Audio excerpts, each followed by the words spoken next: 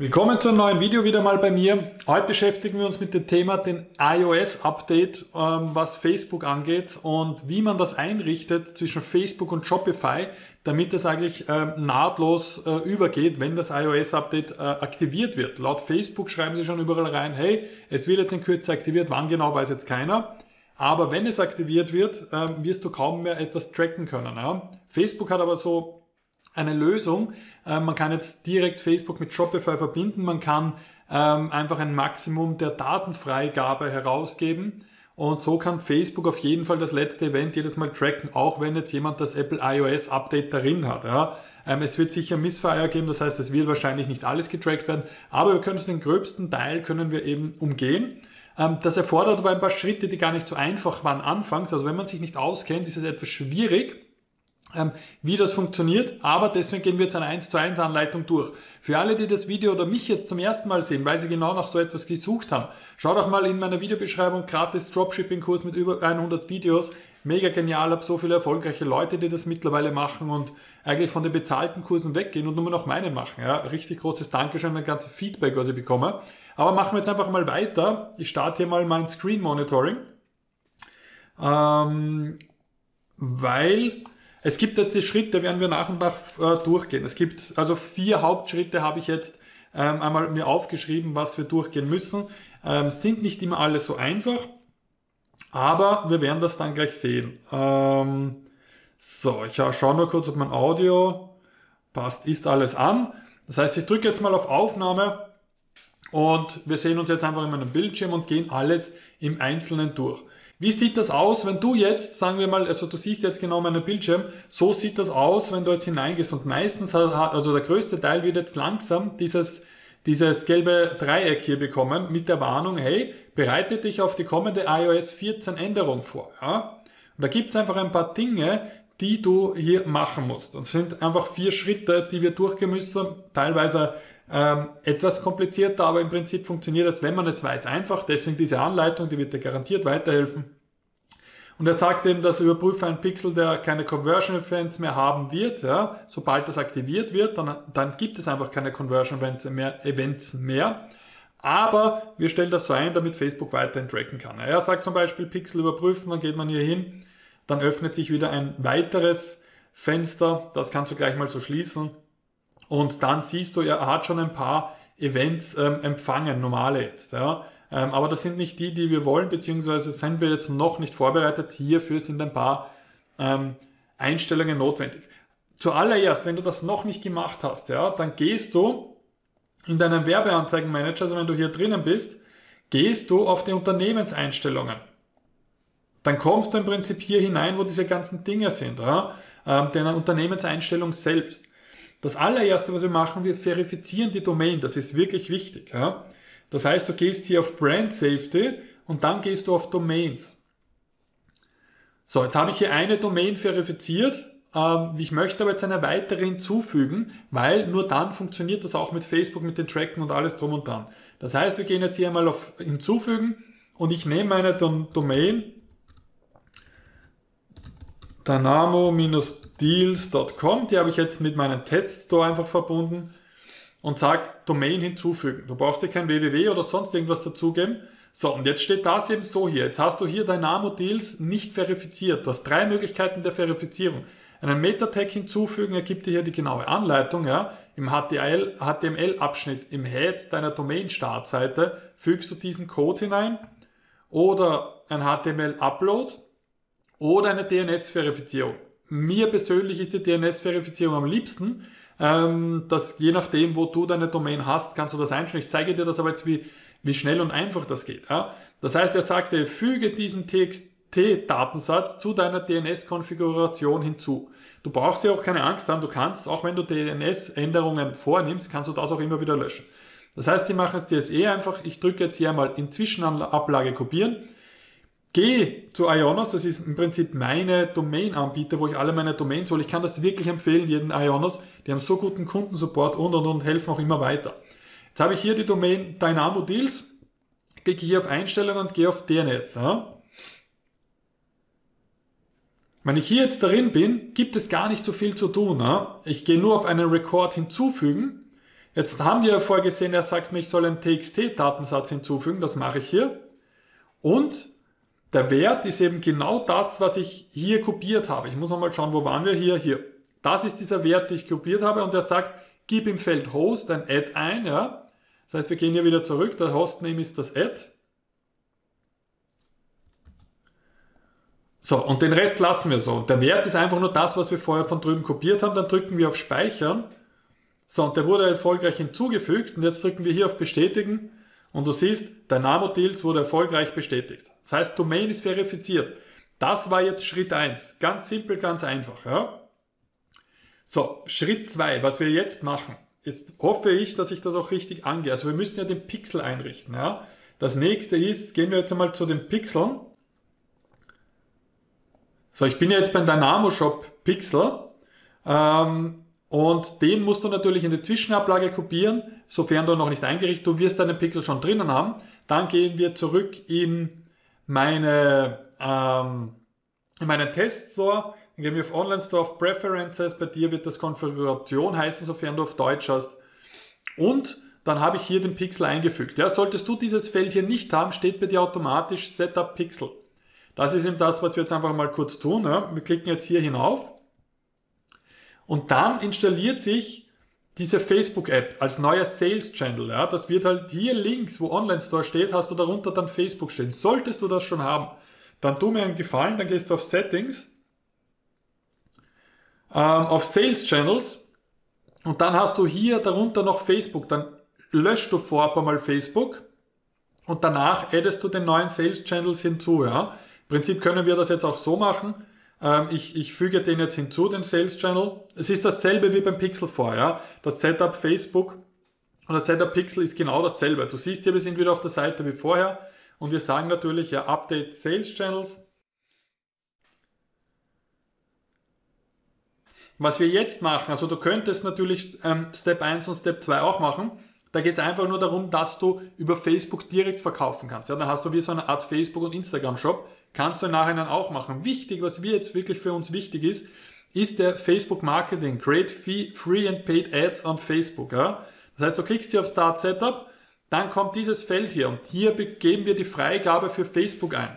Das heißt, du klickst auf Connect Account, ähm, dann gibst du einmal dein Passwort ein. Ich hoffe, das passt jetzt. Oder habe ich einen Fehler eingegeben? Nein, das funktioniert. Als manuell fortfahren. Dann wähle aus, was du genehmigst. Im Prinzip kannst du das so lassen. Wir lassen natürlich alles darin. Dann macht er den Business Manager auf. Er fragt dich jetzt, welches Unternehmen willst du nehmen? Also welchen Werbeaccount? Wir nehmen K-Marketing, ist in meinem Fall das Richtige. Und dann fragt er dich noch, welcher Ad-Account? In meinem Fall ist es KVNer 10, den ich anbinden möchte. Und dann fragt er mich noch, welche Facebook-Page möchte ich denn gerne anbinden? Und in meinem Fall ist es natürlich Dynamo Deals, das wäre diese Seite auch. Er braucht jetzt nur etwas, ich weiß auch nicht warum. Ja, sollte das so sein wie bei mir jetzt, dass es einfach ewig lang dauert, ähm, dann aktualisiere einfach mal die Seite. Ich weiß, dass das Shopify mit Facebook noch immer ein bisschen Schwierigkeiten hat, was die, also Schwierigkeiten. Ähm, es, es hängt halt alles noch ein bisschen, es, es läuft noch nicht so flüssig. Aber du siehst, jetzt geht es. Jetzt fragt er dich noch, okay, welches Land ist dein Targeting-Land? Wir sagen jetzt einfach mal Deutschland in dem Fall, wie auch immer. Dann akzeptieren wir die Terms of Conditions, ähm, Finish Setup und dann ist das erledigt. Ja? Got it. Also so weit sind wir jetzt einmal korrekt. Und das ist das Wichtige. Ja? Und wenn wir jetzt gehen auf Settings, ähm, haben wir hier die Data Sharing Settings und hier kannst du mal reinschauen. Hier musst du hineingehen, dass du nochmal, der Overview ist hier, ja, und du musst hier dann auf Settings gehen. Und das ist der wichtige Punkt. Du musst dann hier nämlich auf die Data Sharing Settings gehen. Und die sind die wichtigen, dass du das hier auf Maximum setzt. Das ist der wichtige Punkt, den du machen musst, damit Facebook weiterhin alles tracken kann, auch von nach dem iOS Update. Ja? Und wenn du das machst, klickst du auf Confirm oder bei dir im Prinzip bestätigen. So, und das ist jetzt erledigt. Jetzt haben wir das erledigt und das hier eingerichtet. Das war ein weiterer Schritt.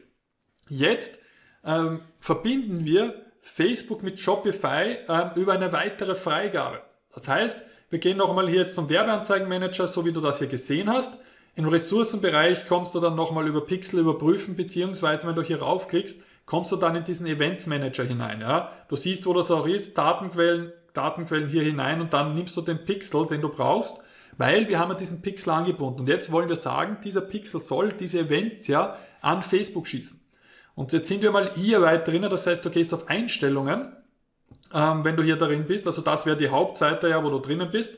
So wird dir das vorgeschlagen, dann gehst du auf Einstellungen. Ich mache das hier nochmal ein bisschen kleiner. Und dann hast du hier nochmal ein paar Daten dazu. Und dann scrollst du bitte so weit hinunter, ja. Ähm, du siehst eh auch, mit was es verbunden ist, mit welchem Werbekonto, wer es erstellt hat und, und, und. Und dann gehst du auf die Conversion API. So weit scrollst du runter und dann klickst du bitte auf Partner ausrichten, äh, einrichten. Ja, also wir tun einen Partner auswählen. Das ist nämlich das, was Facebook jetzt ermöglicht. In dem Fall nehmen wir Shopify. Und er fragt dich, hey, Shopify-Konto mit Anweis Anweisungen und Anleitungen hineingeben. Das heißt, ich klicke jetzt einmal drauf, nur dass du das nochmal siehst. Da gibt es eine Anleitung von Facebook, wie das genau funktioniert. Ähm, und dann siehst du eben, diese fügst du den Shopify Pixel in Shopify Admin Bereich hinzu und und und. Dann das ist das, du wählst in der Datenfreigabe Maximum auf, ja. Das ist das Wichtige, um die Daten für die Conversion, äh, Conversion API zu senden. Das ist alles das, was ich dir jetzt gezeigt habe. Und dann sagst du, ich habe die Einrichtung in Shopify abgeschlossen, klickst auf Weiter, ähm, bitte überprüfe, ob dein Pixel richtig funktioniert, er ist aktiv. Wie man hier sieht, klickst du nochmal auf Weiter und dann sollte das jetzt eigentlich passen. Ähm, wir machen Events testen, deine Events Events Manager überprüfen. Klicken wir einfach mal rauf und schauen wir, was passiert.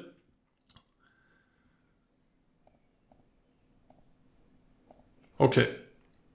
Genau, dann kommst du hier hinein und äh, die Webkonfiguration ist ganz wichtig. Das heißt, du gehst dann hier auf deine Domain, die verifiziert ist. Ja? Ähm, das findest du im Events Manager. Ja? in den Bereich dann der Web-Event-Konfiguration. Das ist ganz wichtig, weil hier musst du deine Events manuell nochmal hinzufügen. Das heißt, du klickst hier drauf und sagst Events verwalten. Und dann sagt er, okay, möchtest du Events bearbeiten? Es kann sein, wenn du jetzt aktuelle Ads laufen hast, ja. Also jetzt funktioniert das noch, aber sobald Apple die Änderung vornimmt, ähm, werden deine Ads auf jeden Fall 72 Stunden gestoppt. Außer du machst das jetzt, was ich dir zeige, ja. Und das ist eben das Wichtige. Das heißt, wir klicken auf Bearbeiten und wir haben leider noch gar kein Event, aber das ist klar, das ist nur mein Test so. Das heißt, wir geben ein Event zurück, wir suchen dann den Pixel hinaus, den wir wollen und dann sagen wir, okay, wir wollen unser wichtigstes Event ist kaufen. Ja? Wertoptimierung kannst du machen, ja. Ähm, wenn du möchtest, das sind Wertoptimierungskampagnen. Das heißt, Facebook sucht die Leute, die am meisten Geld bei dir ausgegeben haben. Das wäre mal das eine. Das heißt, wir klicken nachher weiter, klicken einen weiteren hinzu und die niedrigste Priorität beim Dynamo Shop Pixel wäre zum Beispiel, jetzt sagen wir Content ansehen. Dann fügen wir wieder ein weiteres Event hinzu. Und das geht halt immer so weiter. Und dann sagen wir jetzt einen Kaufvorgang starten, ist zum Beispiel einer. Du keine Sorge, du kannst das hier dann verschieben. Ja? Dann fügen wir wieder einen hinzu. Dann sagen wir, was ist noch ein sehr guter Event, ist ja ähm, in den Einkaufswagen hinzufügen hier. Das wäre der eigentlich nach dem Content ansehen. Ähm, dann haben wir noch ein Event, was wir hinzufügen können. Zahlungsinformationen zum Beispiel hinzufügen, auf die Wunschliste Registrierung abschließen. Ja, du kannst hier ein paar machen. Ähm, ich nehme hier nur die wichtigsten. Für mich wäre eben die wichtigsten noch ähm, Zahlungsinformationen hinzufügen, kann man noch machen. Das wäre in dem Fall so. Und dann sage ich, klicke ich jetzt auf Senden. Ja, ja, ich verstehe diese Änderung. Er sagt das eben alles nochmal. Dann sage ich auf Übernehmen. So, und jetzt wurden die Events übernommen. Und jetzt ist die Domain verifiziert und hat diese Events eben darin. Ähm, und jetzt gehen wir zurück und sagen jetzt auf Fertigstellen. So. Und das war eigentlich der ganze Trick, der hier herrscht. Wie du hier siehst, hat er jetzt ähm, diese Events drinnen, ähm, was wir vorher eingerichtet haben. Ähm, Events testen kannst du natürlich auch machen. Du kannst diverse Webseiten öffnen und kannst schauen, ob es funktioniert. Du siehst hier auch eine Fehlerdiagnose. Das heißt, er würde dir sagen, ob es irgendwo ein Problem gab. Das heißt, wir werden das einfach einmal machen. Wir gehen jetzt auf den Nano Deals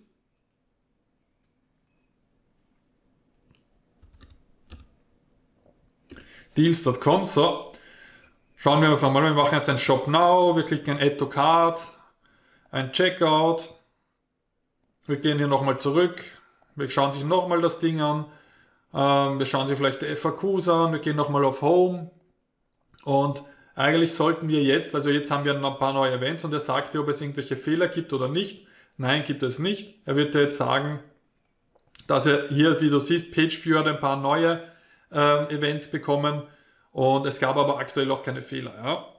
Und das war's eigentlich. Ja. Diese Dinge musst du genauso umsetzen, ähm, damit dein Conversion API mit den ganzen Dingen funktioniert. Und wenn du jetzt zum Ressourcenbereich gehst, nochmal, also wir sagen jetzt, wo war denn das? Wir sind hier drinnen, kannst du hier sagen, hey, das ist für mich erledigt. Ja. Dann klickst du hier auf erledigt und Sache erledigt.